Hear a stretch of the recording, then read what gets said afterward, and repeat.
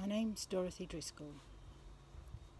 Mum came to Pelham House about two years ago, albeit reluctantly.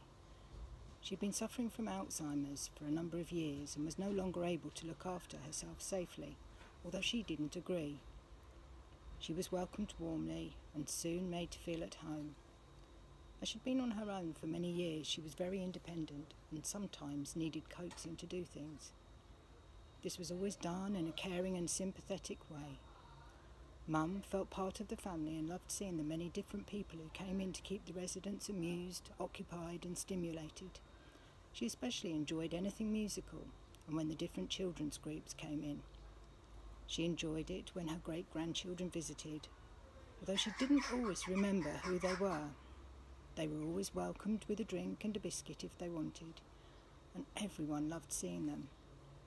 Whenever family visited, they were always made welcome and never felt in the way. Unfortunately, Mum became quite poorly, but the staff couldn't have shown more care and compassion for her.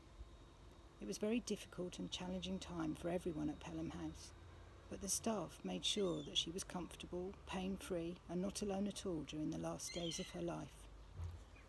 We felt reassured that the staff at Pelham House treated her and looked after her as a member of the family and that so many things were done to make her life there as interesting and full as possible.